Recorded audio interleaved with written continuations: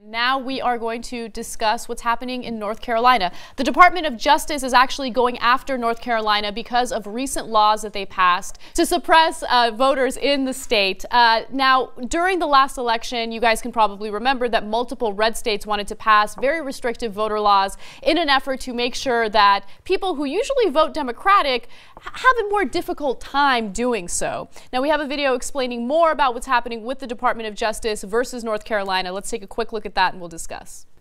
By restricting access and ease of voter participation, this new law would shrink rather than expand access to the franchise. And it is especially troubling that the law would significantly narrow the early voting window that enabled hundreds of thousands of North Carolinians, including a disproportionately large number of minority voters, to cast ballots during the last election cycle just months after North Carolina saw the highest overall turnout in sheer numbers in its history in November of 2012, and within days of the Supreme Court's Shelby County decision to strike down key provisions of the Voting Rights Act, the state legislature took extremely aggressive steps to curtail the voting rights of African Americans. This is an intentional step to break a system that was working, and it defies common sense. So that was Eric Holder uh, doing a press conference just this last Monday. And I don't know how this recent government shutdown is going to impact uh, the Department of Justice going after North Carolina, but they do seem very aggressive in going after the state because of these voter laws. Now, just to give you some idea of what they managed to pass, and I should note the governor didn't even know what the bill included when he decided to sign it. Uh, the press asked him about it, and he had no idea, but he signed it anyway, which is just crazy. But one thing that the bill does do is it shortens uh, early voting by seven days, which would really impact minorities because they actually take advantage of early voting the most. Another thing that it would do is it would increase campaign contributions to $5,000. So I like how comprehensive it is. Okay, let's let's pump more money into politics. Let's make it more difficult for people to vote, and it's very very draconian. Another thing they want to do is they want to prevent same-day vote same-day voter registration, which I don't really know why that's an issue. And then we'll discuss a little bit whether or not voter fraud is a problem and why they would want to pass something like this in the first place. Um, so, first question goes to Rob. Rob, what are your thoughts on what's happening in North Carolina? And do you believe that this type of law or these types of laws will have a domino effect in the in the country if the Department of Justice fails in this lawsuit? Well, to the last question, clearly the answer is yes. If you have a Republican state legislature and a Republican governor, you're going to get these laws in every one of those states.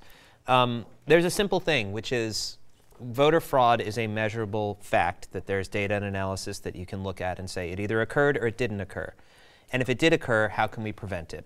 This is the way normal human beings deal with things. There has been no voter fraud. There is no voter fraud problem in this country. Every time we hear about voter fraud and it's actually dug into, you find that there wasn't any or it was one person or two people. Often people conflate voter registration issues with voter fraud, which are two very different things. Uh, and voter registration is dealt with in a very different way. So, to me, given that that's the case, you then have to say, well, what is the reasoning to pass a law, given that there's not a problem that has a particular effect on a particular group of people? There are two possibilities. One is clearly the people who are affected vote Democratic more than they vote Republican, and it's just a naked power play to try to win more power. Or you can look at the other way, the harsher way, which is to say a lot of those people are minorities, a lot of those people are disenfranchised, and this is sheer, pure racism. And it's ugly and it's nasty and it's pernicious and it has no place in our country. And the fact that we have five people on our Supreme Court who are willing to allow this sort of thing to happen and thought somehow magically that these problems were over in our country, they're delusional. Yeah, so let's talk about that a little bit. Um, Andrea just recently, um, a little before uh, the Supreme Court decided to grant uh, the gay community some rights in this country, uh, they decided to basically gut uh, the Voting, right, Voting Rights Act. And what do you think uh, the impact of that has been so far? Well, we'll find out in the next election if they sort of get away with it. I mean, my understanding there's 12 states that are doing something very similar to this. And to me, I mean, to both of Rob's points, yes and yes. I mean, it is very clearly racism to me. It's disproportionately affecting minority communities, and it is a power grab. So the same with the you know the sort of gerrymandering of districts. I mean, this is kind of the game people are playing in politics, and let's not pretend it's anything that could potentially be like noble or oh this might help some people or this is about voter fraud. We all know it's not. Let's just call a spade a It's spade. very transparent. It's kind of incredible how transparent it is and how little um, outrage there is over this issue. Like the fact that this passed in North Carolina so easily, and so many states attempted to do the exact same thing during the last election, is just mind blowing.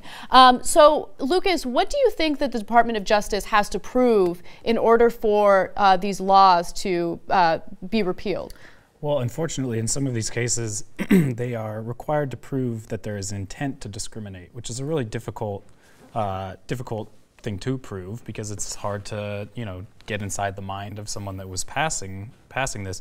Um, but also, as far as the VRA uh, being struck down, you know, it, within within 24 hours of that happening, Texas had already put back its voter ID law. Six states have passed it since it was struck down. So there's a clear intent there. And I think to the point that was made earlier, you know, the reason you're seeing this happen in states that are controlled by Republican governors and Republican legislatures is that basically with uh, redistricting, they have successfully kind of gerrymandered these districts and and uh, you know are essentially moving to in every way they can institutionalize their power there because the demographics of the country are changing against them. So I see this whole thing as basically a way to hang on to power for as long as possible because they see the writing on the wall and this is all they got. Isn't it kind of So incredible? if you can't win, but if you can't Yeah. win legitimately, then you cheat. Yeah, Then- it's you it's change the rules. It's amazing because usually the mentality is if you can't beat them, join them, and especially with the conservative Republicans. I mean, they're losing favorability among young people like crazy. I mean, young people weren't crazy about them to begin with.